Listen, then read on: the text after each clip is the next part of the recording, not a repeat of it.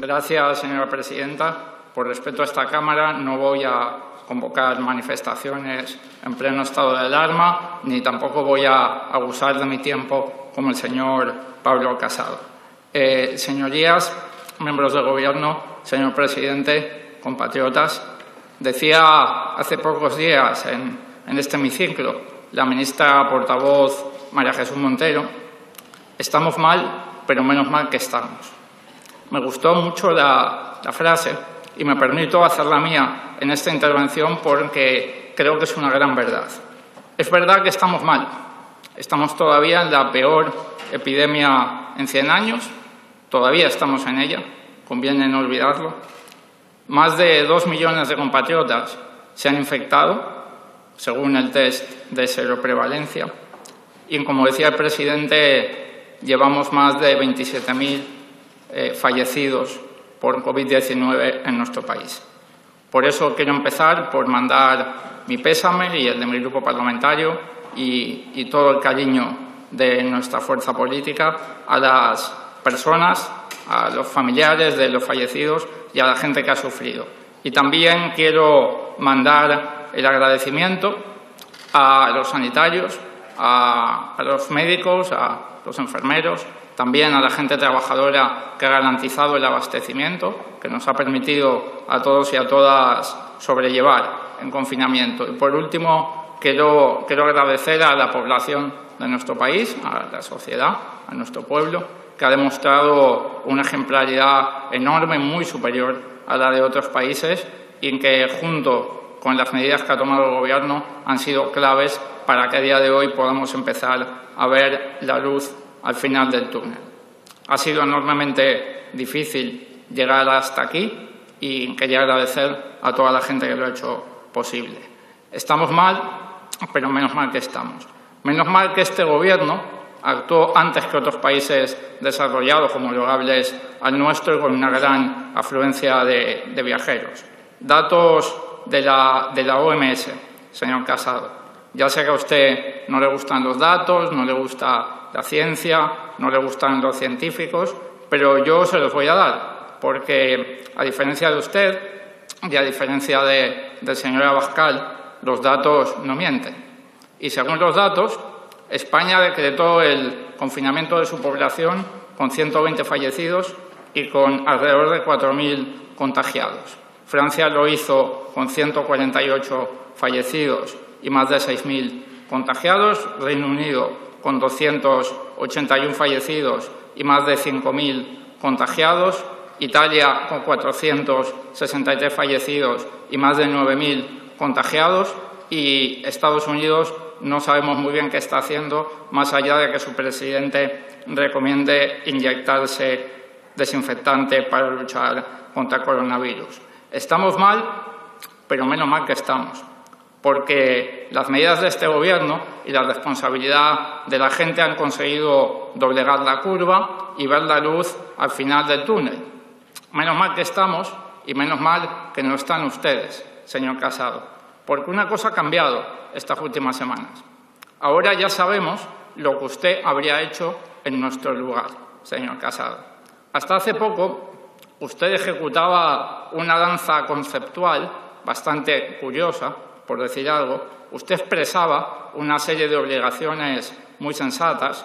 Hay que conseguir mascarillas, lo ha vuelto a hacer aquí hoy. Hay que proteger a los sanitarios, hay que proteger a las personas mayores, claro, por supuesto. Pero lo que usted nunca decía es cómo hacerlo. Y entonces algún incauto podría haber imaginado que usted sabía de hecho cómo hacer estas cosas que Francia, Reino Unido, Italia o Estados Unidos no han sabido hacer. Como estamos ante una situación inédita y no teníamos nada con lo que comparar, parecía imposible saber a ciencia cierta cómo habría gestionado usted, señor Casado, la epidemia en nuestro lugar. Y esto le permitía y le permite disparar impunemente al Gobierno de España, decir que el Gobierno lo hace todo mal y así, pues algún incauto podría pensar que usted lo habría hecho mejor.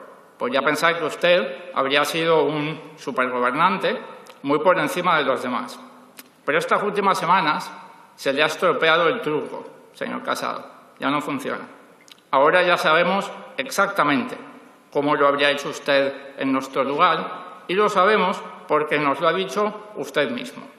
Usted en nuestro lugar habría actuado como Isabel Díaz Ayuso en la Comunidad de Madrid.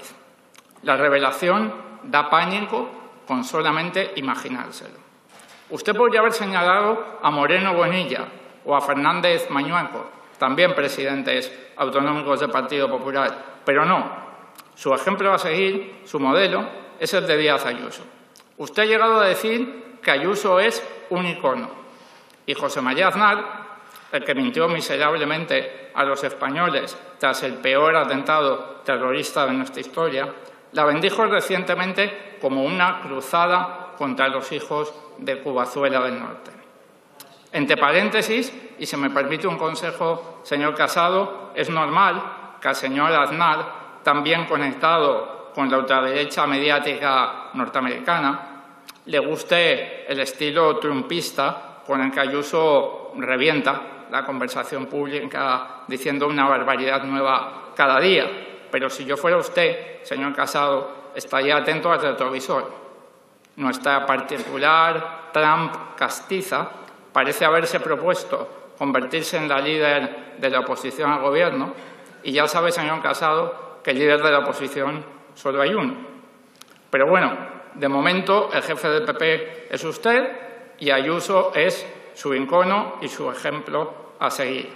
Ya es un mensaje nítido que haya elegido la comunidad autónoma con más fallecidos acumulados y con más contagiados acumulados. Ya es un mensaje nítido que haya elegido la segunda comunidad autónoma, fallecidos y contagiados por cada 100.000 habitantes. De hecho, señor Casado, revise los datos. España no es el país con más fallecidos y más contagiados por, cada 100.000 habitantes.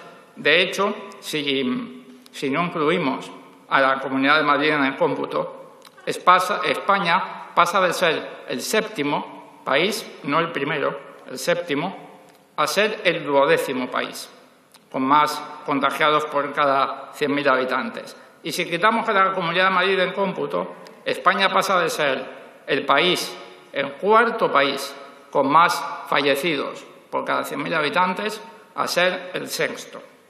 Si quitamos del cómputo a la Comunidad de Madrid, los datos epidemiológicos de España mejoran bastante. Manda usted un mensaje muy nítido al elegir la gestión de Ayuso como modelo, señor Casado. Un mensaje preocupante, pero nítido. Y le pido que no, que no insulte la inteligencia de los españoles repitiendo ese bulo de que el Gobierno de España, el Gobierno socialcomunista, se quedó con todas las competencias. Primero porque usted sabe que eso es mentira, Usted sabe que el estado de alarma no funciona así. Pero es que además, si el Gobierno de España se quedó con todas las competencias, ¿qué sentido tiene que Ayuso saque pecho del éxito de IFEMA? Sería en todo caso un éxito del Gobierno socialcomunista, ¿no? Como escribía el otro día un famoso tuitero, a ver si me entero. Madrid fue un caos por culpa del Gobierno que era quien gestionaba, pero Ayuso ha gestionado genial, aunque ella no gestionaba porque gestionaba el gobierno. No tome a los españoles por idiotas, señor Casado. Aunque haya un mando único, las comunidades autónomas han retenido sus competencias y en ejercicio de esas competencias, Ayuso, su modelo, su ejemplo a seguir, tiene los peores indicadores epidemiológicos de España.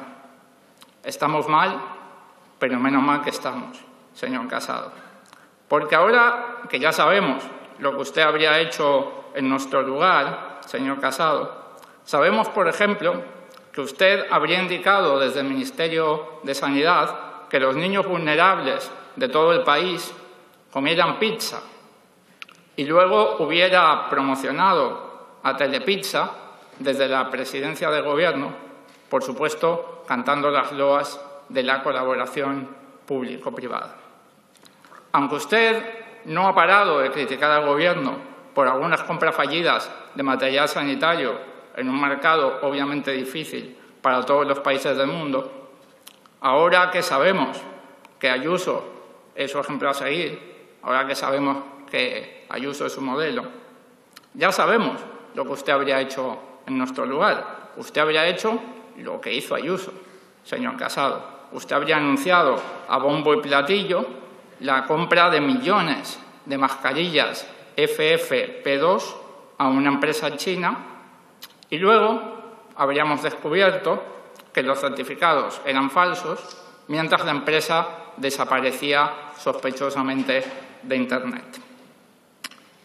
Ahora que sabemos que su modelo es Ayuso, sabemos que usted, señor Casado, habría jaleado desde el Gobierno de España, como hace la señora Ayuso, manifestaciones en los barrios más pudientes que ponen en peligro la salud de todos, que ponen en riesgo lo que hemos conseguido toda la sociedad para llegar hasta aquí. Y además a las que asisten, y esto no es opinión, esto es un hecho, a las que asisten conocidos neonazis, que luego cuelgan fotos en redes sociales usando camisetas en las que pone Adolf Hitler tenía razón. Y sabemos que usted habría hallado estas manifestaciones en pleno estado de alarma, como le digo, porque Ayuso las ha jaleado. Y a lo mejor, si usted fuera presidente del gobierno, señor Casado, Dios no lo quiera, usted se habría ido a vivir durante la epidemia a dos o tres plantas de más de 400 metros cuadrados de un hotel de lujo, regaladas por un hotelero amigo suyo, amigo de la señora Ayuso y por eso visto también amigo de, de Albert Rivera, investigado por fraude fiscal. Y a lo mejor usted habría tenido que salir a decir, cuando le hubieran pillado, que no era gratis, que los 400 metros cuadrados de lujo, con garaje, con seguridad, con limpieza, valían 80 pavos la noche, como una habitación de 15 metros cuadrados en un hotel de tres estrellas en temporada baja. A lo mejor, si usted estuviera en nuestro lugar y su ejemplo a seguir es Ayuso, señor Pablo Casado, el olor a corrupción no estaría emanando en estos momentos Señorías, por favor, de la silencio. Puerta del Sol. Silencio. Gracias. Señor Echaniz, estoy pidiendo silencio, por favor. Gracias, señora presidenta. Parece que la mejor educación no se da en colegios privados, como, como dijo un día el señor Rufián.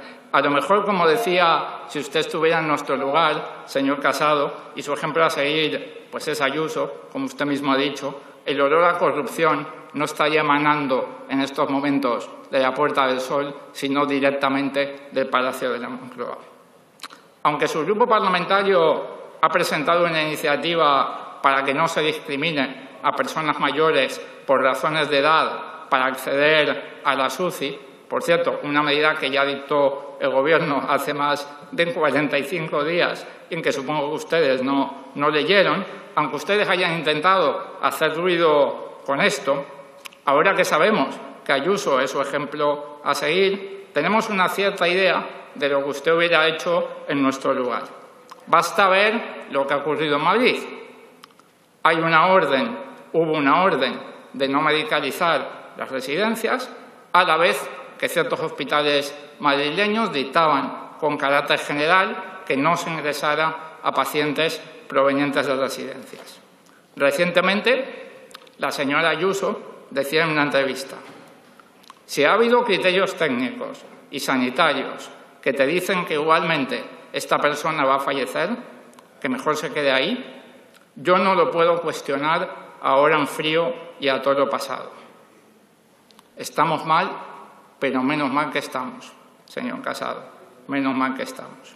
Y por último, y aunque usted ha sido el más beligerante capitán a posteriori a favor del confinamiento temprano y contra el feminismo internacional, aunque usted ha acusado al Gobierno de España mil veces de llegar tarde, ahora que sabemos que Ayuso es su ejemplo a seguir, tenemos claro lo que habría hecho usted en nuestro lugar en marzo. La señora Ayuso quiere desconfinar a toda velocidad, a pesar de no tener aún preparados los mecanismos de atención primaria, la capacidad de test y la capacidad de rastreo para, para contener rebrotes. Esto en contra de los expertos sanitarios, de los colegios de médicos y enfermeras, y obviando que países que han gestionado también la epidemia, como Alemania, Singapur, Japón o Corea del Sur, han experimentado ya rebrotes. Este es su ejemplo a seguir, señor Casado.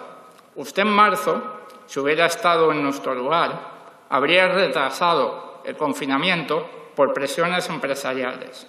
Y usted jamás habría decretado el cierre de la actividad no esencial. Hoy tendríamos decenas de miles de muertos adicionales, señor Casado, si usted estuviera en nuestro lugar. Y ni siquiera hay que mirar a la enorme irresponsabilidad de Ayuso, su modelo a seguir. Usted mismo hoy aquí, señor Casado, va a votar por el desconfinamiento total el domingo, el contagio masivo y el rebrote. Sí, acabo ya, presidente. Gracias. Usted va a votar hoy aquí, como decía, por el desconfinamiento total el domingo, el contagio masivo y el rebrote seguro al grito de libertad. Ah. Silencio, por favor. No, no, no, se, no se preocupen, señorías, no falta el respeto quien quiere, sino quien puede. Eh,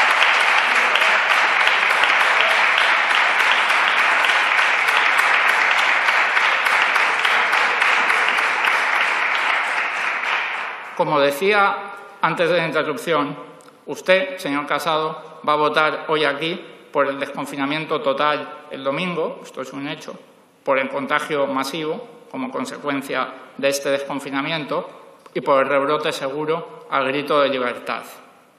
Estamos mal, pero menos mal que estamos y menos mal que no están ustedes. Muchas gracias. Gracias, señor Echenique.